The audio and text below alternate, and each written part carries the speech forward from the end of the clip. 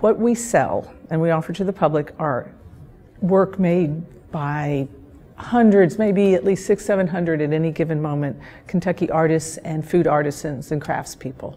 So I'm very proud that we're able to enable those people to continue working and we offer to the public a truly unique and handcrafted object.